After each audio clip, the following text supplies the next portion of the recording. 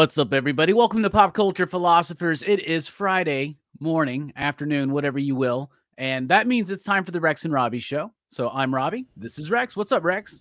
What's up, man? Uh, it's actually noontime here. Noontime, noon, morning, afternoon, whatever time zone you're in. Whatever you want to call it. Yeah, whatever you want to call it. Today, we're going to be talking about television.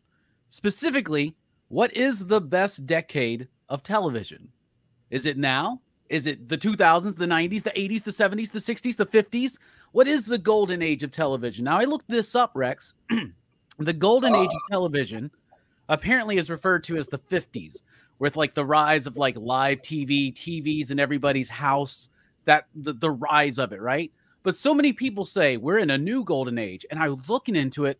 There are articles saying the 80s are the golden age, articles saying the 90s, the aughts, now. So I'm curious to see what we all have to think about this subject.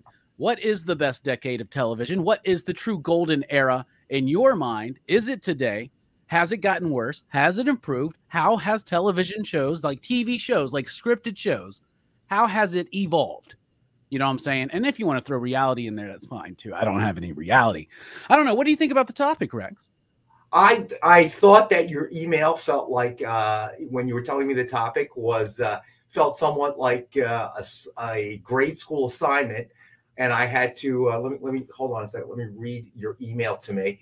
I, I came into the office this morning, opened up the email. I'm like, gosh, I feel like I'm in the fifth grade. It says, topic: What is the best decade of television? Come prepared with what de- decade you think is the strongest for TV shows uh, 60s, 70s, 80s, 90s, 2000, 2010s. Have a list of shows to prove your point. So diligently, I went to work. Hey, BJ, what's going on, man? I diligently went to work after receiving this email and made a long list. And I will clearly, at this point, seeing the way that you're leaning, I will say that I'm going to disagree with your statement so far. What? what do you disagree with? What are you talking about? Well, I think that, that you cannot call current times, and I, I did list of shows of probably somewhere near the vicinity of 75 to prove my point. You wrote down a list of 75 shows? Oh yeah, buddy. Yeah, you betcha. probably something close to that. I didn't do a real count, but you know, each era had like 14 to 20. So I'm just I'm just making a rough estimate. Um, I got you. It, the reason I don't think that that that you know the point you're making that like all right, so the golden age of television was the 50s. Maybe it was. I, I, you know, that that's even a little bit too old for for me. Not that I didn't see television reruns from the 50s in my era, but they were black and white and so on and so forth. So a little, you know, not to say I didn't watch black and white shows, but it got a little bit lost, right?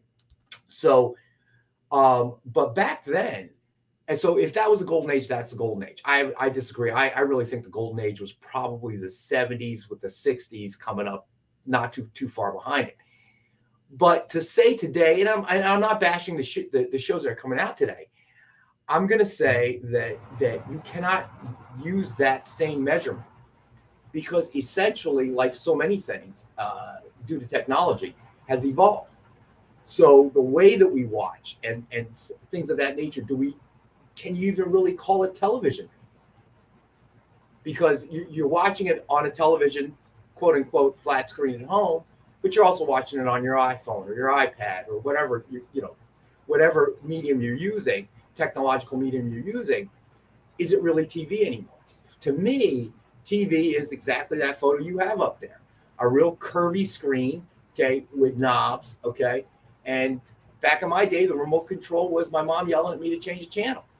Yeah. That you know, that was you know, turn it up. Did you ever have that cable box where you had like to push down the dial of the channel you wanted to go to, and it was like one through twenty or something like that, and you had to push? Oh, you like... mean you mean the initial remote control? No, only rich people had those things. Uh, huh. Back back in the day, I was growing up, so I had a friend who had one. Uh, there there weren't twenty buttons, my friend. There were maybe six. I mean, you really didn't need too much more than that. Uh, maybe eight on the outside if you know your parents went out and bought some fancy schmancy uh, Zenith um, or RCA. Um, the big thing my day was was when you you you you, you traded in your black and white TV for color TV because all the shows were, were starting to, to, broadcast in color. Those were the, those were the big technological jumps, which didn't essentially change things. Obviously, to be able to broadcast in color and stuff, but it didn't fundamentally shift the way that that that we receive the information. I guess. So so that's the disagreement that I have, and I I, I can prove my point. So. Um, so what do I mean by that? All right. So to prove my point, I think the 1960s was, for me, it was a very, very significant age of TV. But for me, really, I think the 70s, but that's maybe because of my age age bracket in a sense. You know, if somebody older than me may not see it quite the same way. But yeah. And I'm gonna list these off real quick, honestly. Yeah, go for it. So 1960s. And these are just the ones that come to mind. You had so many shows that we all watched, those those people of my generation. So you got, of course, Star Trek. You knew that one was coming. The Man from Uncle, The Munsters, the, the, the Spider Man cartoon that we watch religiously with the psychedelic backgrounds, Scooby Doo, Voyage to the Bottom of the Sea, of course, the Adam West Batman, Speed Racer, Lost in Space, Addams Family, Dragnet, Thunderbirds Go, The Addams Family, Get Smart. And that's just to name a few, just a few. Okay. There's Did you say Star Trek? Like Star Trek, for instance. Yeah. Of course. That's on top of my list, you know, nice. for its three run season, Star Trek, of course. And then you look at the 1970s, which maybe because I was older and stuff, or maybe spent way too much time watching TV, you got the Hulk, Facts of Life, Dukes of Hazzards, uh, Buck Rogers, Space, 1999, Battlestar Galactica, uh, that Saturday morning Shazam cartoon, um, Bionic Woman, Six Million Dollar Man, uh, Wonder Woman, Happy Days, Fantasy Island, Three's Company, uh, One Day at a Time, Diff'rent Strokes, Eight is Enough, Taxi, Charlie's Angels, just to name a few, right? So to me, that was the most significant time, 60s and 70s and really the 70s. The Flash, BJ, I believe, was, I have that down on my list. I think that was the 80s, right? So then you go to the 80s. The first Flash, yeah, the first one. Yeah, right. So the 80s, and then I combine these two, two decades, really because there was so much bleed over, like late 80s into the early 90s, right? So 1980s, 1990s. You got MacGyver, Voltron, Roseanne, Seinfeld, Baywatch, uh, Coach, Married with Children, Quantum. Leap, Star yeah. Trek Next Generation, Growing Pains, Perfect Strangers, Simpsons, Cheers, Fresh Prince, The Flash, 90210, Alf, Magnum PI, 21 Jump Street, Knight Rider. And then in that era, this is when it starts to fall off a little bit. There were a lot of these TV series started based on movies like Blue Thunder, Alien Nation, Parenthood. They even had a Bill and Ted's animated series. Yeah. You know, so that was a big popular thing to take a very popular movie and hey, let's turn it into a TV series. Um, 2000. Okay, so two, 2010s, I got nothing. 2000s, one. Firefly was something I watched on network TV. Now that's not to say I didn't watch TV, obviously, but now all of a sudden at that at, during that era, technology changed. Yeah. So now all of a sudden you had kind of of watching streaming or DVDs, you know, things like that. There was a period when because I'm I'm gonna say it out loud. Uh, Comcast literally controlled this this region of the United States for everything. I mean, you couldn't get, you know, anything other than than uh, Comcast. So I hated them. That's this is the if there's ever a lesson why. Um, hey, comic book G spot, what's up? Um, if there's any reason why a monopoly shouldn't exist, that is a perfect X Files. Thank you, BJ. And, and you know, I, I, I, I like the X Files. Uh, my then wife, my uh, now my ex wife, was re- re- religiously watched it, but you, you started to have the introduction of the DVDs, the v, you know the, the VHSs, and then eventually DVDs and then that changed your, your, your viewing habits. And then I got into this when my daughter was really young. So my daughter was born in 2000, so she was really little. I got into a huge fight with Comcast, and my temper got the better of me. And I said, you know what? Come get your box and your crap out of my house. Okay. And I remember I, I wrapped up that cable box and left it at my doorstep and didn't give a crap about it. I, I walked, I think it took them three or four days or somebody stole it. I didn't even care. It even rained a few times. I didn't care. I was so mad at Comcast. But then I had no no options, right? So what we ended up doing was we lived off of our DVD player. And at her age, that wasn't a problem because we'd watch the same, you know, Disney film over and over and over and over again. So that's pretty much what we do. And uh, you know, I got a, a, an, an aerial antenna that to watch any local stations like the news and sporting events and stuff like that. And that's how we survive. So I didn't really watch a lot of of, of programming, and it I really didn't miss it. You know, so I think that that's what really kind of happened. Um, yeah, uh, uh, money, money, yeah, uh, definitely nice. Seinfeld, uh, Simpsons, X Files. Um, I missed the X Files off my list, but there were, you know, after that it just died off. And now I can tell you right now, I don't watch anything on network TV. Usually, when I'm watching network TV, it's either the news, a sporting event, or if it's some show, it's because I'm really actually working on my laptop and it's just background noise. Well, you know we don't mean? need to, we don't have to limit ourselves just to network television because one of my favorite things about the late 90s into the 2000s mm-hmm. was like the rise of the HBO TV show, right? And like, and stuff. So, so out of all of that stuff, you, you, th- you, to you, it's the 60s, 70s is like the era, which mm-hmm. you think is the best. Okay. See, I, I think that a lot of it can be tied up with when you when you grow up. Like obviously, I look at shows from the '80s, like the A Team, Knight Rider. You mentioned Airwolf. Those are shows that I loved watching when I was a very young kid. The cartoons of the '80s. Airwolf, I love that one. Yeah, I the greatest theme song, right? The dun dun dun dun dun dun dun. But uh, the cartoons for me and my childhood in the '80s, Masters of the Universe, Transformers, GI Joe, like um, Superpowers, oh, Galactic Guardian. is that you? What? Uh, you you you kind of blanked out on me. I don't know if it's your oh. end or end. All right, but you got me now. Yeah, might be okay. my end because Comcast supplies our internet here. Oh, you never know. Me too, right? retitle so. this bashing Comcast. Yeah, let's do that. Um, what was I saying now? Oh yeah, the cartoons in the '80s are mm-hmm. awesome, right? And then Full obviously, yeah, growing up into the the '90s as a teenager, I have a lot of attachment to those shows. But for me, it's and I'm going to agree with with Damien here, Sleepy Reader 666. It's that rise of HBO.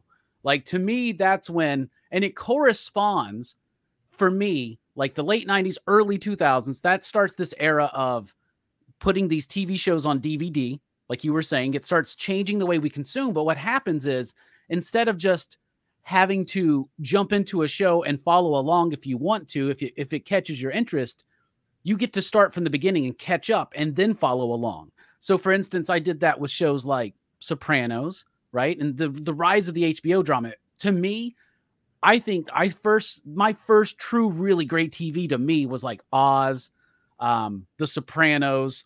Um, so I'm going through, I'm going to go say the 2000s era. I wrote down all these shows. Lost, which I adore. Lost is one of those shows that I started watching in like the middle of season two and then they dropped the DVD, and not only me, but so many other people were able to watch that DVD, get caught up onto the show, regardless of how you thought about it, how it ended. I thought it ended great. The Wire is a superb show. Arrested Development was a network television show that I adore. West Wing was on network TV, but another HBO show, Curb Your Enthusiasm. Deadwood is one of my favorite TV shows ever of all time. Uh, Weeds, Entourage, House, Six Feet Under. Um, and of course, Buffy and Angel, which did start, you know, at that that end of the '90s, but into those early 2000s. I absolutely love that era of television where I feel like we started getting, and nothing against any of those shows that we loved growing up. We started getting like a truly like more of a sophisticated level of storytelling, and and maybe budget, maybe just maybe there was something about it that it was it was more cinematic it wasn't as cheesy as some of the stuff that came before. And I love all those shows, but it was no longer, even the Case of the Week shows had like a sleekness to them. But for me, the rise of that HBO era, that to me right there was to, that's to, that's like the height of it right now. And I, I, I, I am still okay. Go ahead. I, I I understand what you're saying, but I think the period that you're talking about was that transition period, and you know it's how do I put this? I mean, at that point, the format of what we're talking about significantly changed. So I don't see The Sopranos in the same. Not I loved it, okay, but I, I that was a different era, okay, and and technology had already started to, to, to begin the big shift, you know, away from network TV. And the result has been network TV is getting worse and worse and worse along the way. So I, I guess in a sense, the question of what's the best decade of television is too generic. That's my opinion. Okay. Because I look at these these kind of HBO type things and, and the series that they developed as the beginning of that transition away. So now look, we got streaming services all over the place and, and shows that are developed specifically for that. Now, is that bad? No, it's not bad, but it is definitely a completely different beast. Almost as much as a black and white show would be from a color color show. And I think that the, the parameters were different. I, I, don't disagree. Some of it was cheesy. You know, Three's Company, Sleepy Reader. I agree with that statement. Um, there were a lot of sitcoms, and the reason there were a lot of sitcoms, some of it is based on how society was and what they wanted at that time, but some of it was because when you had network TV in its traditional form, there was no oh, you know what? We're going to make Game of Thrones. Uh, yeah, the, the next season's going to be 12 months out, 18 months out, 20 months out. Okay. That, that kind of option didn't exist for network TV because you had a slot and the slot was every week and then you had to have something produced every week for that for that series. You you couldn't go and say we're going to take a break for like 24 months before we put the next season out because by that point guess what? You've lost your slot. They're gonna the networks have to stick something else in it. Yeah. So well, that's why you would have so many of those case of the week and sitcoms because, like I was saying, like there wasn't most there wasn't a lot of opportunity for people to start a story at the beginning. So they weren't telling one big large story usually. They were telling like individual stories. Yes. Right. Yeah. Right. And and there is there is, I think, a from from a producer, director, or writer standpoint, that is a much more difficult job than what you have today. Okay, you tell me, oh, you know what, you, you got you got eight, you got eight episodes or you know ten episodes. Oh, you can decide how many episodes you want. You didn't have that option with network TV, right? So then, okay, I know I've got ten episodes. I don't know if I'm going to get canceled or not. You know, type type question doesn't really exist. They're going to let you finish. It may not air. They may shelve it like Netflix has been slashing left and right. But you know you've got an entire season guaranteed. They've picked it up. You can tell your story. Bang, bang, bang. Network TV, you didn't have that. You didn't really have that option. Okay, you got picked up. You might get canceled. You might not. Now, show me you can get the ratings every week. So now you've got to write something that appeals to. You got to tell enough of a story that brings people back. Your regular devoted viewers. I can't miss that show. You know, Friends is coming on. I forgot to mention Friends. Friends is coming on. You oh, know, yeah. next week. Blah blah blah. Right. So then, then you've also got to write something that can engage a new viewer. I mean, what is this friends thing you're talking about? Like, I didn't watch the first season, you know, but everybody's talking about it. it's all the buzz. I'm like, yeah, let me sit down and watch it. Yeah. Okay. And now you've got to write something that's going to appeal to both sides. Man, that's not easy. Okay. You're writing Mandalorian. You know what audience you got. You can tell a complete story. You know how to tell the story. Okay. You can link it all together. Somebody misses some, you know, eh, you're on on episode four, but somebody says, "Oh, I got to watch this." Okay, that guy has the option to go back to episode one and catch up to episode four with the rest of us. So now you're able to tell a one conti- continuous story, okay, without break, and you can plan for that and know that. And if you decide, eh, you know, I don't know, I'm not feeling good, I'm going to take 12 months to hiatus. Oh, okay, it's not going to be back for 12 months. Sometimes and longer. Like look at Stranger Things, right? And right, the exactly. the binge nature now, like back in the day, at least for me, I didn't I don't ever remember watching eight hours of television straight on unless I'm like home from school sick or something. I'm watching The Price is Right. Yeah, I mean, yeah, we didn't have the binge factor either, right? So yeah. What I love about the 2000s though is that HBO was trying to tell these these stories. I think they were also telling good episodic, you know, storytelling. Like giving me a story, but connecting it to a larger tissue. Even shows like Friends, uh, Friends, and things like Seinfeld at times did kind of have an overall arc that they were gearing yes. towards, right? Yes. You know, and that's that, that's that? I mean. That that's the challenge. Yeah. You know, you got to keep, you got to continue the arc for those that have been devotedly watching every week, but then leave enough to entertain that guy who's coming in, that person coming in, watching, picking it up in the middle yeah. and being able to quickly transition to, to it's like, oh, this is a good show. It's funny. And then yeah. be able to transition and let that person become, and there's no going back and trying to catch up. So the challenge with the directors, the actors, the writers, and everybody else was you're you're kind of juggling, trying to keep this entire audience together. Yeah. I tell, no tell you what, the uh, Netflix was in, incredibly important during this time where we were transitioning into. We're not. I'm not even talking about the streaming service. I'm talking about when Netflix was like DVDs oh, yeah. through the mail, yes. right? Mm-hmm. Because mm-hmm. when those TV show sets would come out, and I remember they would be ridiculously priced. It would be like $150 for season yep. one of something, right? Nobody was really, I mean, I was buying certain things like Star Trek and Buffy when those DVD sets were coming out, but having that Netflix option to have TV shows mailed to you so you could get caught up. Like that's how I watched. Sopranos and Deadwood and and all that stuff. But like I was like Oz was the first show. I was watching that on HBO at my friend's house because they had HBO, and I would go there on like Wednesday nights, I think, to watch Oz. And then that's when The Sopranos first started.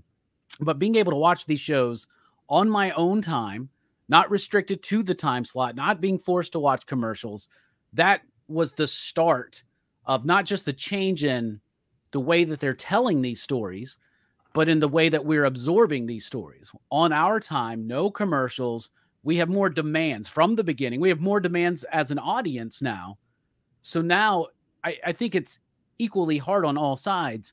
But that was a very intriguing time for me for television, is seeing that change and how it's morphed right. into streaming and oh, everything. Oh, I agree. I, I mean, I totally agree with you. I mean, I'm, I'm not saying that that it's bad or anything else. I'm saying that I, I guess I, what, what I'm trying to say is that, that it's really apples to oranges. So so the measure once once the switch happened has to be on different parameters. It can't be measured in the same parameters. So they're really not comparable because they are apples and oranges. Gotcha. And and that's that's my point. Listen, the, the the the shift in technology allowed me to free myself from Comcast, which I got to tell you, you know. And I'm they talk about cord cutters. I was one of the first, and I watched technology evolve. So so essentially, without Comcast in, in, in my neighborhood, uh, hey, what's going on tomorrow? Hey, what's up? Two Gun Pedro. Hey, fellas. So I used to have because I I could only get internet through through Comcast. I had to get a little uh, MiFi card, and I was using that for internet. So we were watching a lot of DVDs, and then eventually I started to like watch Hulu. Uh, Everything Sunny in Philadelphia. I remember watching that series uh, on Hulu, and and you know slowly I, technology kind of caught up with me and that was really the amazing part. Now, obviously, you know, I get my high speed internet through, uh, believe it or not, through T-Mobile. They they little you know big tower and, and it's just high speed uh, internet through through uh, uh, you know a modem through through the cell phone towers, and I pay fifty bucks a month. So technology has just kind of kind of caught up, and and the programming is different, but there's some great stuff out there. I don't disagree with. Like I love Sopranos, obviously. Um, let me, I'm just trying to think some of the other series that came out. Deadwood. Um, yeah. Oh shoot. What was the the Western one? Westworld. Um, there's some, some some really great stuff that's come out, it, but it's just different. It's more movie like, if you will. You have yeah. more of the freedom of the movies than you did back then when you were doing network TV. You know, every episode had to be different, engaging. So really, how they did it was, you would have a new storyline, but to continue a story, you'd have that that continuous story in the background, hopping from episode to episode to episode to try to give everybody something, you know, something that, that they wanted, you know? Yeah. So it, it was interesting. It, it, it, was an interesting time. But for me, the influence of, of like the 60s and the 70s, you know, 60s mostly from a rerun standpoint, you know, that's another thing, reruns. You know, that's how you fill a lot of airtime was was, you know, and, and that's how people would kind of catch up to things. Isn't that never... crazy? Yeah, it's crazy how timeless television was for a few decades there because I remember being a kid and thinking Three's Company, like I didn't have the idea in my head that that show was from like the decade before, right? right? Like to me, I'm watching it as a kid, just enjoying it. Same thing with like Gilligan's Island. Like TV was like that. I don't know if that's so much anymore. You know, like well, it, it isn't. There are a lot more options, obviously, um, a lot of different things. The way that that you know we view things, like you, you know, I don't know if you do it, but you, you can watch YouTube on your TV. So it, yeah. it's like you know the content has really changed. Um, I will say it from my daughter's standpoint, though, uh, watching her kind of evolve. You know, I, I may have told the story before. So I, one day my TV went out? And you know, I'm like clicking it, nothing. It's just dead, right? And I'm thinking, oh crap, I'm gonna have to go to you know Walmart or a Target and buy a new TV. So I started looking online, shopping around, whatever. And about three days, I was busy. I never got around to, to doing it. Just you know, just did other things, watch, stream stuff on my computer. My daughter never even noticed for three days. She didn't even notice that the TV wasn't working. Yeah. Now, luckily, it turns out that my my my dumb cat had gotten behind there and pulled the plug out. So before I went and clicked the buy buy it now button, I went back, plugged it in, TV was fine. Okay, I just didn't notice for three days. I remember being her age growing up. Um, there, I'm sorry, Jamar, you got to tune in next Wednesday for a Rex cap. We really do got to make some T-shirts for that. Um, I remember being her age. If the TV went out for three days, I would have lost my mind. I would have absolutely lost my mind. You know, she didn't even notice. She was on her phone the whole time. She didn't even notice, or on a computer. She it, it didn't even bother her. So, kind of how we we we look, you know, we, we're viewing this stuff. How long is it going to be before the concept of how we watch TV changes? Yeah, you know, well, it's already it, changed in our lifetimes, right? One hundred percent. Crazy. Now, it's I will say this because I, I understand that you're making the distinction between the network time and the post network time, but 2000s being that transition on my list, I do have some network shows that I, I adore from this era, which is Lost, Arrested Development, West didn't, Wing. Didn't, watch, didn't, really watch a few episodes of all of those. Never really watched it. Never got it Buffy and Angel and House. Like I loved those shows, and I would watch I them. Week Angel, yeah, I watch Angel a little bit. You know, uh, what was it like on a CW or something? Yeah, what, it was WB at that time, right? It was WB at the time, and then it yeah, WB at the time. You're right. You're right. Uh, Buffy, I watched, but again, I have to point out that was Buffy turned out to be a movie. Let's turn it into a TV series, and then obviously, uh, uh, Angel was an offshoot of Buffy, yeah, spinoff right? Which was the other thing you don't really see anymore. Spinoffs. Okay, and there have been some very successful ones. Cheers, uh, Frasier bouncing off of Cheers. Yeah, you know, so so there were there were quite a few. So that Family of Ma- Family Matters actually spins off of uh, Perfect Strangers because Harriet That's was right. the elevator operator. Yeah. So that wasn't, you know that kind of thing doesn't really happen anymore. Well, you just and, had that what happened with uh, Breaking Bad and Better Call Saul and now we have House of the Dragon, which is a spin-off of Game of Thrones. So there, that stuff's still there. And the whole MCU is a spin-off on a spin-off on a spin-off. But but here's the thing. I, I think one thing, one other difference is that okay, Breaking Bad. I've heard great things about it. I really have never watched it. Believe it. Believe Me neither, actually. Uh, and and and the other one that's spun off of Breaking Bad, uh, Call Me Saul. Or you know, I never watched that. See, that's why and, some people say it's the it's the the 2000 teens are the best era, the best decade, but, but which I don't, the, but because of things like Breaking Bad and yeah, I guess the beginning of Game of Thrones and stuff like that.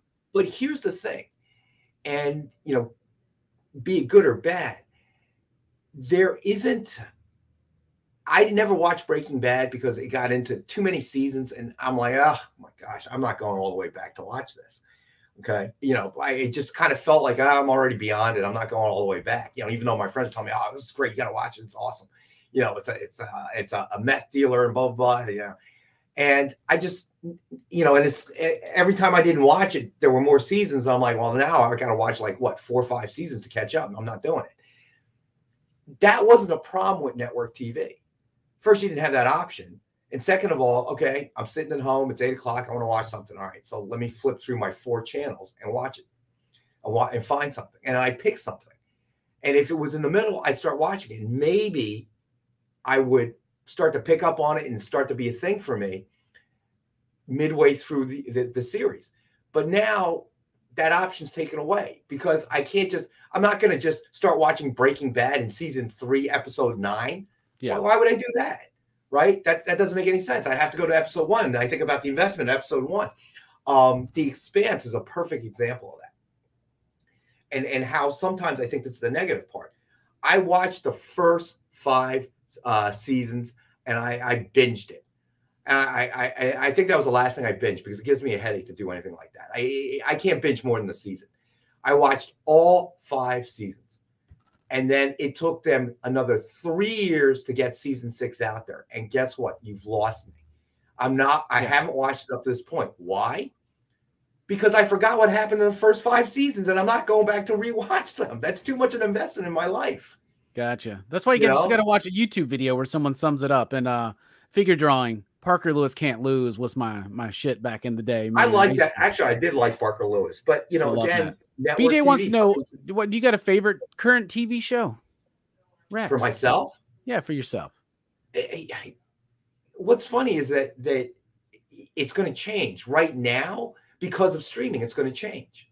You know, that's the funny thing. Whereas before, back in that era, I could tell you, yeah, you know, I love love watching Friends, or I love you know Star Trek: Next Generation, or you know whatever. But if you were to ask me what I'm watching right now, it's probably House of the Dragon. I've enjoyed that. She Hulk. I've enjoyed that. You know, I could say that I love I loved uh, you know Hawkeye, but again, that's over, and I don't know when the next season's going to start, and yeah. you know whatever. Um, There's not a lot like going on at the same time anymore, right? That's another right. thing that's changed. Yeah, it's just it's shifted, and again, I'm not necessarily saying it's a bad thing. I mean, I mean, I loved Lou Ferrigno's Hulk, and I watched that religiously every single week. But now I can watch the Hulk and She Hulk battle and it looks real and they have superpowers and it's just not, you know, Lou Ferrigno jumping out somewhere going, you know, like like that. I mean, it's you know, so I appreciate the the obvious the obvious improvement in what we're seeing, but I'm just saying that it's very very different and there is yeah. something lost. If, you BJ, know, uh, I don't. BJ lists a few modernish shows there. Justified is one of my favorites. I love Justified. I'm super pumped for that show to come back. Um, I'm right there with Rex. The only mo- show I'm watching week to week right now is She Hulk and House of the Dragon. I'm enjoying House of the Dragon. She Hulk's just kind of a mixed bag for me right now. Um, we had the whole chat about it last night. It was really great. Manny was there. It was. It was. I feel like I just saw Lou Ferrigno's Hulk somewhere too, bro. Um, that was a great conversation about him. There was just an article about him that he could successfully say he was the last uh, uh, Incredible Hulk with the real muscles. Yeah, that's, true. To that effect. That yeah, is that true. Totally true. Yeah. Those are the only ones I'm watching. But this year, so far, one of my favorite shows I watched what was the latest season of Stranger Things. I thought that was splendid entertainment. I loved it. I loved it so much. So I don't know. There's I been mean, some I'm, good I'm stuff. gonna watch. I'm gonna watch. Uh, you know, the Lord of the Rings. Uh, uh, one that's that's been. I just haven't. oh yeah, Rings of Power. That's out now, yeah. isn't it? Yeah. I've heard mixed oh, reviews. The Boys season three kicked so much ass this year too. Yeah, that's another great The one. Boys, uh, another one. You know, but again, I'm not currently watching it because it's over, and, and I just yeah. feel like there's something missed there. You know what I mean? I, I call it what you will. I mean, you know, maybe I'm getting served a fillet, and you know, it's delicious and cooked just right. But sometimes there's that old comfort food. You know what I mean? Like a shepherd's pie or, or some chili or whatever. And I, I feel like about reservation dogs, but I haven't seen it. But I've heard that really good things about reservation dogs. I have not seen it myself either. See, right now I'm spending my TV time rewatching Twin Peaks from the 90s because I love that show. Oh, and go. I haven't watched the uh, Showtime one that they did a few years ago. So I'm rewatching the old one so I can watch that one. So I, I really hate to say it, it for network TV. What I'm predominantly watching, and I'm not saying I'm not commenting on quality or it's great or whatever, but when I'm working and you're kind of like just half attention, because when I stream something, I want my full attention on that show right? But if I'm working, I can't get my full attention. So I have network TV on.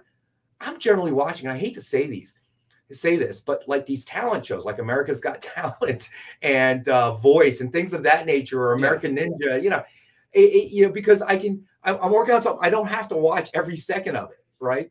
But some some really funny act comes up. I'm like, oh, what's this? what's this yeah. guy doing, right?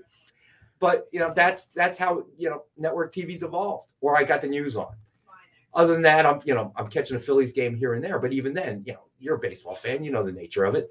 Yeah, you, don't have to watch every pitch of every inning to know. See, that's why I love on. baseball so much is that I can have baseball on and I can like be reading or doing something else, and like you know, you can tell, you can hear it when something's about to happen. You got to pay attention. It's not like when you're watching.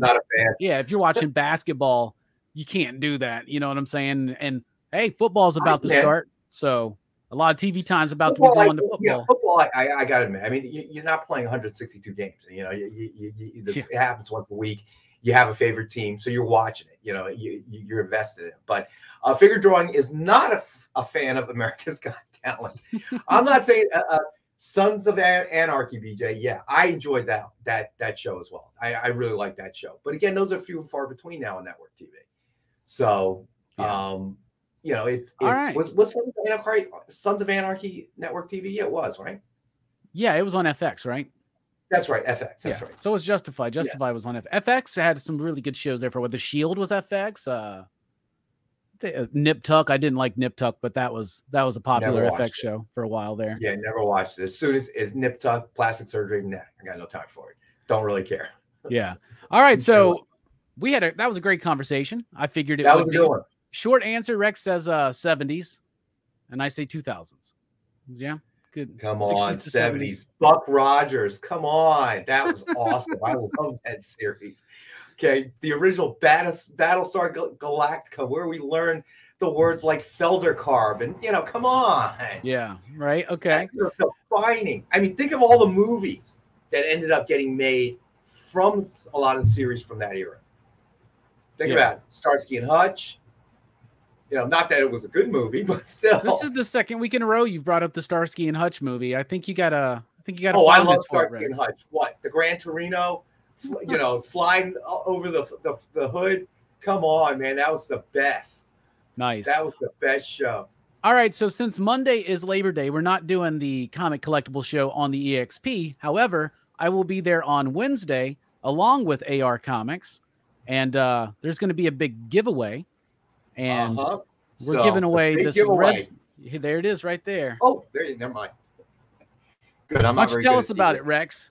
All right. So uh, on Wednesday from 6 to 8 Eastern, we're going to have, and we did something like this uh, the week of July 4th. We're going to have big party. It's going to be uh, Robbie's going to join us. He's usually here on fr- uh, Mondays. Uh, Alec from AR Comics is going to be with us. Of course, John's going to be here. I'm going to be here. Um, and uh, we're going to be giving away the Red Sonja She Devil uh, card set. We're going to give you uh, uh, a complete box that a, a this complete box is valued, believe it or not, at twelve hundred. So if you tune in and watch, that will be the giveaway of the night. And hopefully, John is not watching. John's birthday is happens to be on Labor Day, so we're gonna gonna plan a little surprise something or enough or, or, or another on Wednesday's show for John.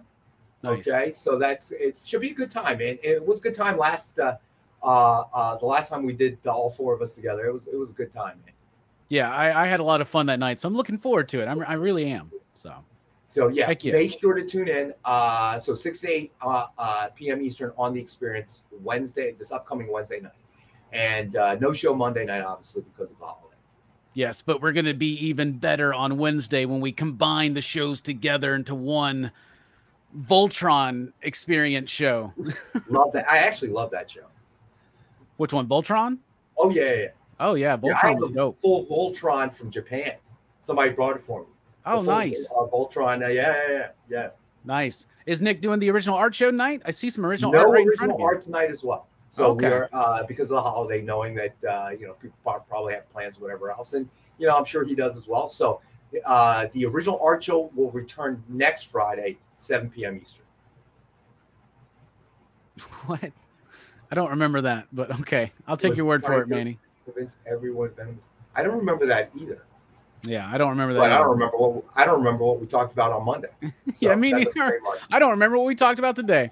All right, everybody, we appreciate you joining us. Be sure to check us out over at the Experience. There's a link to that channel below. Sub them up because I'm there every Monday, but not this Monday because we're doing the combined show on Wednesday, giving away that awesome prize. We'll see you there, Rex. Thank you for joining me for this great conversation. Always a great time, Robbie. Thank you for having me, bud. Always, y'all out there, Stay fresh, stay clean.